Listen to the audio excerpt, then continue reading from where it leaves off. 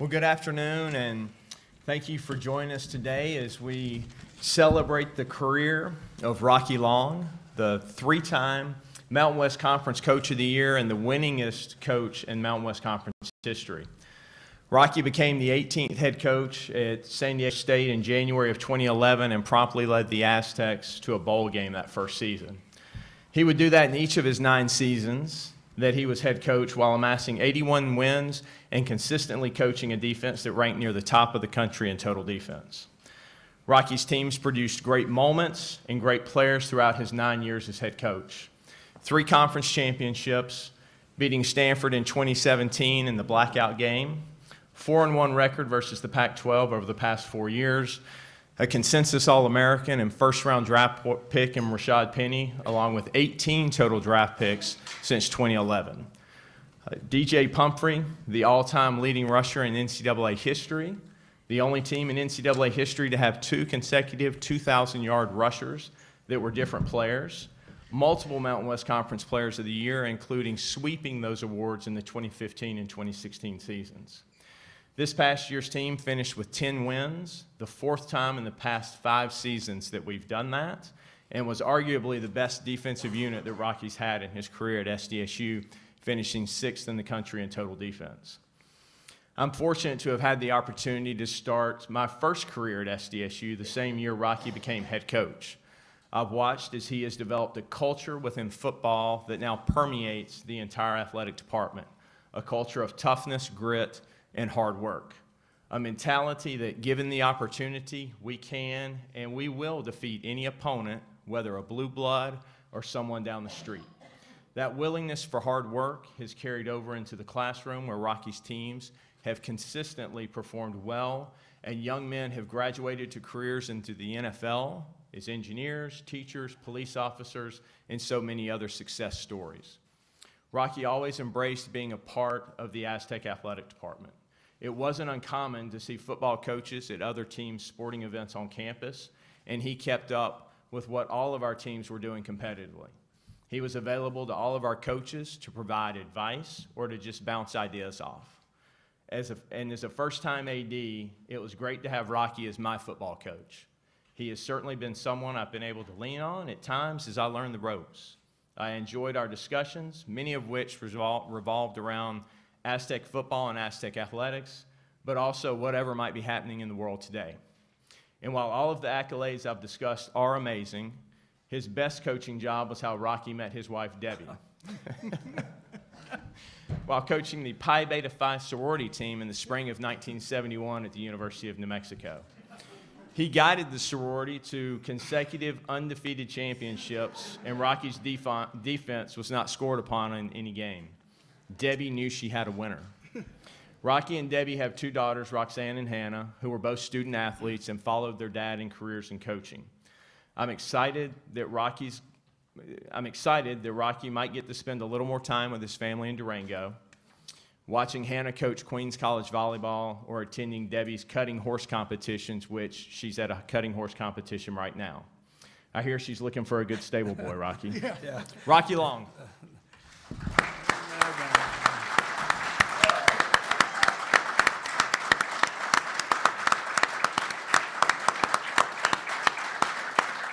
that, that that's plenty, that's plenty, that's plenty. Thank you, thank you very much.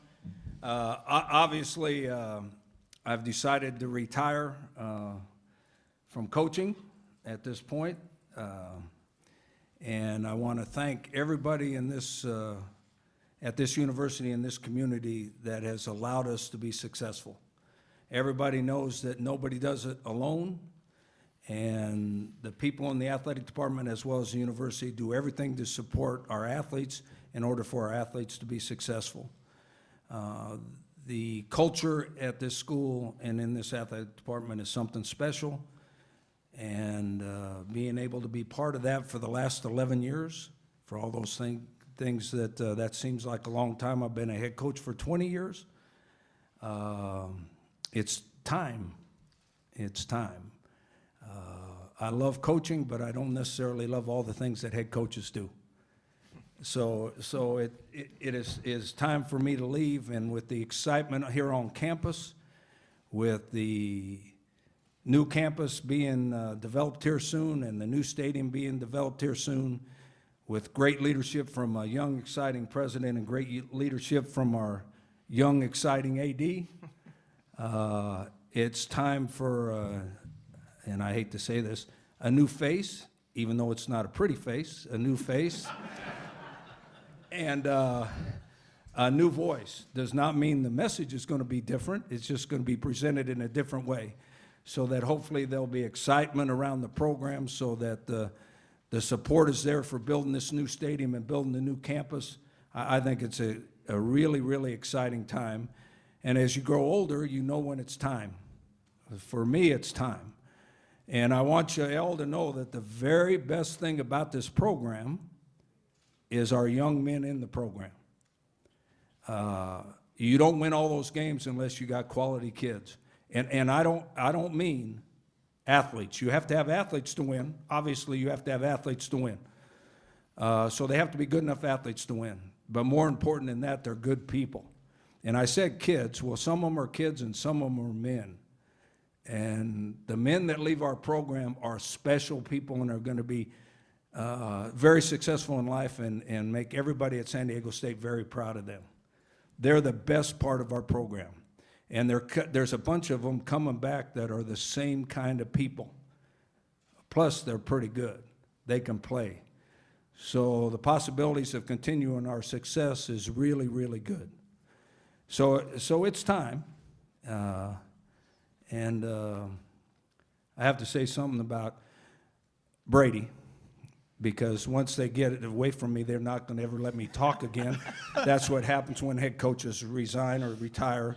They don't let you talk anymore. So uh, when Brady was nice enough to bring me here, that was probably the luckiest day of my life as far as coaching goes. Uh, because I was looking for a job, he gave me one. And it worked out, it worked out well. Obviously, it worked out well for him, and it worked out well for me, too. And when, I, when Brady uh, decided to come back, I told everybody he was the best defensive line coach I've ever been around. And that part is true. Uh, if you saw the improvement of our defensive line, it was amazing. But what else he is, is a good guy. And he is a great head football coach. So there's nobody that could do it better. So thank everybody for being here, and thanks for the, the memories. I'll always be an Aztec at heart.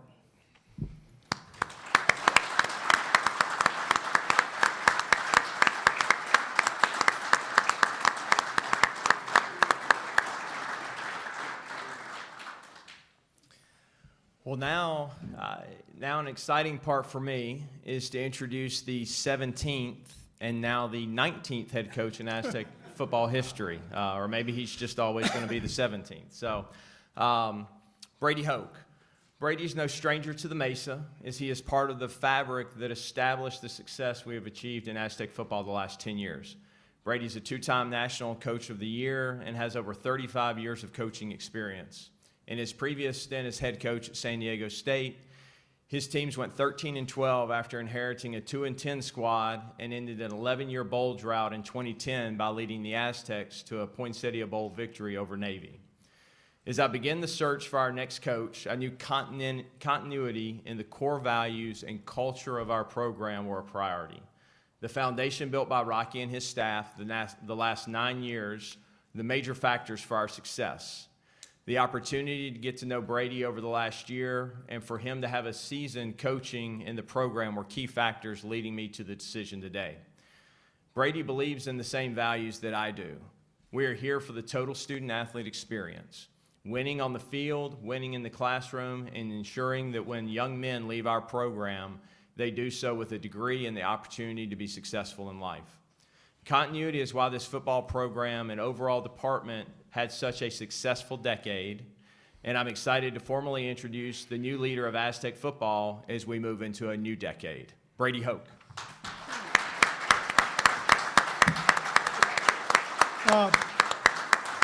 Thank you. Uh, Number one, I want to thank Coach Long. Uh, It was uh, fun for me this year. It was fun 10 years ago when Rocky was calling the defense. And uh, I want to thank him for giving me the opportunity to come back. And it was uh, uh, probably one of the funnest years I've had in coaching. So uh, I appreciate that. And our friendship goes back to Oregon State, goes back a long way, and that will continue.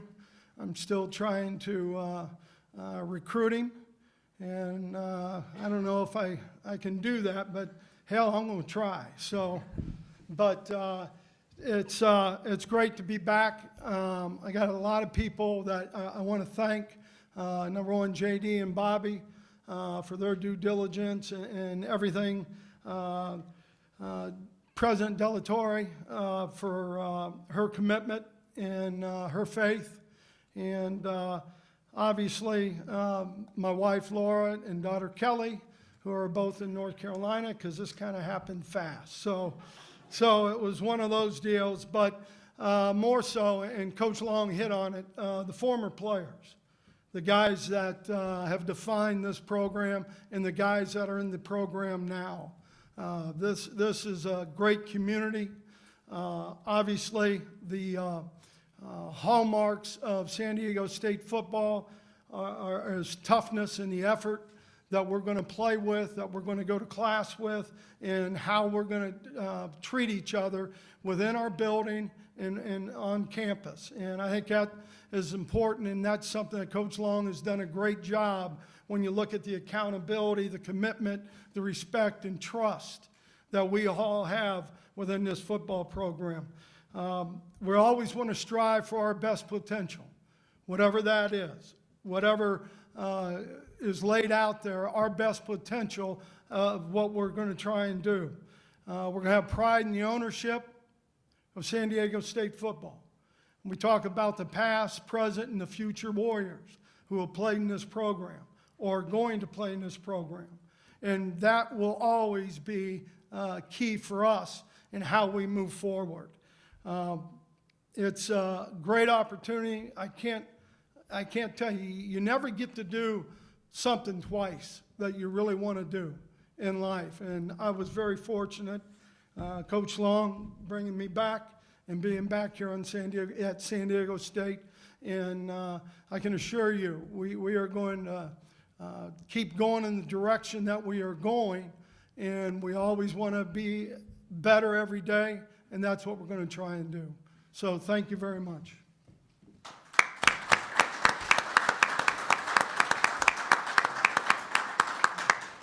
this time, we'll open it up for questions from members of the media. If you would, raise your hand. We have a microphone in the back. Maddie has it. She'll find you and start questions now.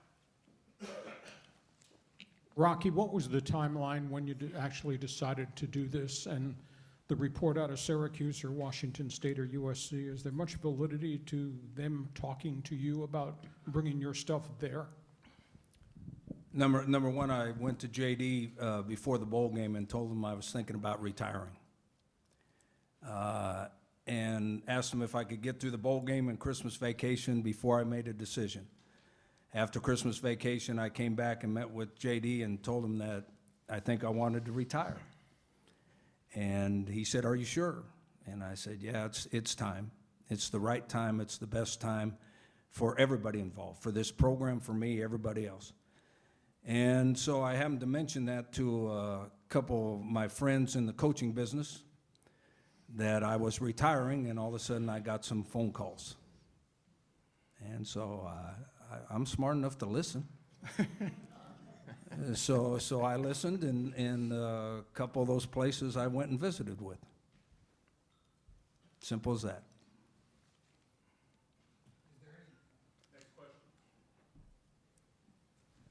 Coach, is there any thought that you might end up at one of those places now that you've had that open ear and talked to them? Well, as of this moment, I'm retired. But that doesn't mean I'm not going to listen to anything they have to say. Uh, you, I mentioned it before, I'm, I'm tired of being the head coach, but I love coaching. And the mo, the most fun is, the most fun I ever had coaching is when I was coaching the DBs and coaching the second, uh, secondary and coaching the defense for Brady Hoke. Because Brady was the head coach and all he made me do was coach and recruit. That's all I had to do. And that's the most fun I've ever had in coaching. Well, if someone gives me that opportunity again, I might, I might take it.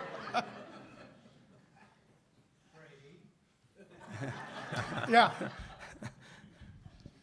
JD, you talked about your coaching search. Um, how long did that take? Did it kind of start and end with Brady Hoke, or was there a larger process going on kind of behind the scenes recently? Uh, You know, as Rocky mentioned, we had a conversation uh, back in December, a long conversation, as he talked about, you know, his thoughts of maybe wanting to re- retire, but wanting to get through the ball game and all that. And, you know, we talked about all the different things that we could do uh, from an athletic department standpoint to, you know, help him want to stay, uh, whatever that might be. Uh, he came back from break and uh, last, I think it was a week ago, Monday, uh, told me that he was ready to retire. So since that time, uh, we have worked, one, a lot of conversations with Rocky about how we want to see the continuity in this program and how important it is uh, to continue what we've already built. I had no desire in any way, shape, or form to blow up what we have. So we talked about that. We talked about the who. Um, we spent uh, probably, I think I got on the road Thursday, back Sunday, uh, had conversations with multiple folks, and at the end of the day, Brady Hoke, uh, having been, you know, part one of the architects of what we have today. I mean, he and Rocky did this for the first two years and kind of got some things established. Uh, Rocky took it to new heights, and then having Brady back in the program for a year, got to see a lot of what we had done. Uh, and we spent um, two hours on the phone and then six hours sitting across the table from each other, myself along with Bobby Smitherin as well, uh, who is the sport liaison for our football program. And, you know, at the end of the day, felt like Brady Hoke is the person that's going to be able to continue what we're doing and, you know, build on this program and take us to, you know, further heights. Rocky, you- and you're right, sorry. Was there, and- and I think JD addressed it a little bit, but was there anything they could have said or any specific things they could have promised or done that, that would have convinced you to stay maybe another year or two? No, in fact, uh, at my age, it's, it's nice to be flattered. They tried really, really hard to change my mind. But uh, also, if you become a veteran, you know, you know when it's time to go. And I love this place, and I love the players at this place. Uh, But it's time for someone else to add the excitement to what's going on with the campus and with the stadium. It's time for a new voice, and I, I'm perfectly fine with that. And uh, they tried, they tried, but I'm kind of hard, for you media guys, you know this, I'm kind of hard-headed. When I have something that I think's right, you can't change my mind. No, we've never felt that way at all, Rocky. Not at all. uh, you know, I think you're probably in better shape than 99.9% of the people gathered in this room here. So, it, you know, you saying you're retired, is it maybe just a, a hiatus, a stepping away, a recharging the batteries, and then, you know, come May or June, you start getting that itch, and it's like, oh my God, I got to continue coaching? I mean, right now, how does it feel? What, is, what do the next couple of months feel to you? Uh, A couple months is too long to think about. I'm thinking about tomorrow. Uh, Now, I don't want to hurt anybody's feelings here, but you notice that I didn't wear a coat and tie. yeah. There, there are certain, there, there are certain advantages to being retired, I'll promise you that. I think not a to- coat and tie is a good idea. Uh, You know, that, I, I- I'm going to coach, I'll, I'll probably help somebody coach, even if it's up the street at the high school next to my house. I mean, I, I'm not going to stay away from the football field, and there's some high school coaches that would love to have an old man coach their freshman team. And, and I love coaching so much, I, that doesn't bother me a bit. I just want to be out there with the boys. Brady, where are you on putting your staff together, and is it in place? Well, we- we'll uh, meet tomorrow and uh, talk about uh, where we're at and what direction we want to go. You know, I was taught a long time ago that, you know, a leader has to choose their team. So uh, to some degree, obviously, I want to look at that. Uh, I think the guys here and the guys I was privileged to work with are good men. And I'm uh, excited about those meetings tomorrow. This is for both coaches right here. This uh, program has really, really taken off with both of you gentlemen. But is there a sense of frustration not being in a Power Five conference? Did that have anything to do with you deciding to retire? You won double digits. Uh, several seasons. Uh, Coach Hoke, you go to a Big Ten school. Does, does that play, does that frustrate you at all, that, that you all can't get, you've gone to the, to the mountain, but you haven't gotten to the mountaintop? It's always frustrating if you, if you don't win every game. Uh, Brady and I have been friends a long time. We have very similar philosophies. We're out there to win every game. We have no control over what league we're in. And ha- half of them won't schedule us. Uh, any of them that will schedule us, they're in for a fight. And the more of them that schedule us, the more fight they're going to get. I mean, uh, JD said our record against the Pac 12, that half of them won't even play us anymore. Uh, is that frustrating? Yeah, if they're scared, that's frustrating. Okay, but uh, we're in the league we're in, and we have no say so over that. So we try to win every single game, whoever's on the schedule. Coach Hoke? Well, obviously, same philosophy. I mean, we, we, we don't care who we're playing. Uh, they know they're gonna get a, a, a daggone dogfight, uh, with who we are and who we represent. And just like Rocky said, people don't wanna play San Diego State. I mean, they don't want to. And, but if, if, if they do, then we're gonna play with our toughness and our effort, uh, like no one does out there on the football field. Brady, you kind of touched on it, but just curious what comes to mind when you think about your time here previously, the road you've traveled since, and what it's like to kind of have this thing come full circle. Uh, i- It's uh, unbelievable. Uh, Feel really, really fortunate to be able to come back. Uh, Believe me, if it, uh, we love San Diego, San Diego State.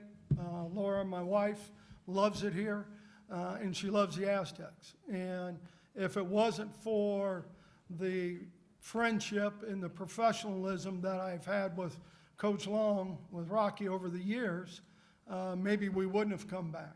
But with him and Debbie, and number one, his leadership, and also just um, as a friend, someone that you, uh, you know you're going to fight for. I want to make sure we have time for breakout sessions, so we have time for three more questions.